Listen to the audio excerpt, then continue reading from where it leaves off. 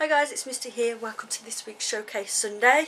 So I bought, I actually bought a book this week. I've not been buying many, but I picked one up when I was out shopping. I got Blood on My Hands by Todd Strasser. Uh, this book I had not heard of, but it just sounds pretty interesting. This is, I like the tagline, guilty unproven until proven innocent. It's kind of the other way around. It's uh, about a girl.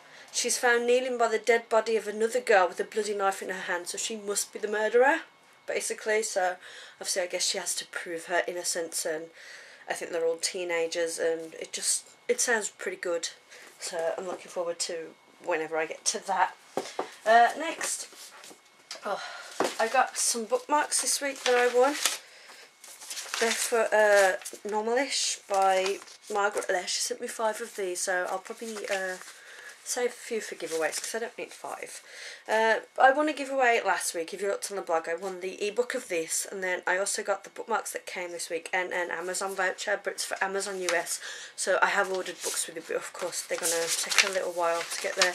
And she also just wrote this lovely little note with the bookmarks. Uh, next, um, a Facebook friend Natalie sent me a whole ton of books this week, so very big thank you to Natalie. First, she sent me these four. Uh, the first book in this series is called 13 to Life. it's by Shannon Delany. I already have the first one. Uh, it's about werewolves. That's about all I know. It's YA. Uh, so she sent me the next four books, which is Rivals and Retribution, Destiny and Deception, Bargains and Betrayals, and Secrets and Shadows. So uh, I'm not sure if there's another one or if that's the complete series now, but definitely looking forward to reading them at some point. I've heard uh, that it's a pretty good series. She also sent me The Farm by Emily McKay, which she read. She said that uh, it was okay. I think it's a kind of a dystopia type thing.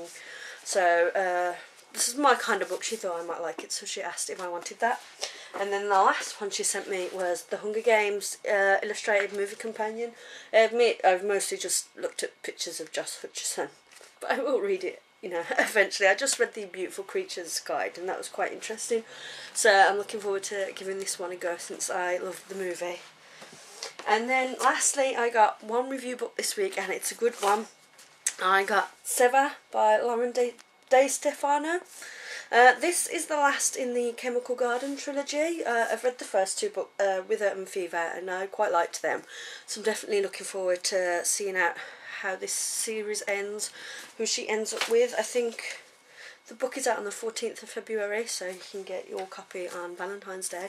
So I'm definitely want to read this probably this week if I can. Um, depends on my, my mood's been a bit funny lately for reading and I haven't really been in the mood for much so it took me eight days to read my last book so hopefully things will speed up and I will get to it soon and review it for you guys because I definitely want to see how this series ends. I've already heard that it's pretty good. I already know someone that's read it. So yeah, anyway, that is all the books that I got this week. Thank you for watching and definitely leave links to your haul so I can come see what you got. And I will see you next week. Bye.